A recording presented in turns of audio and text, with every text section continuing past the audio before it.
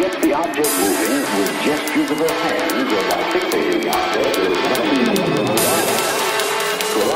has been studied intensively for more than 10 years by Professor Stern.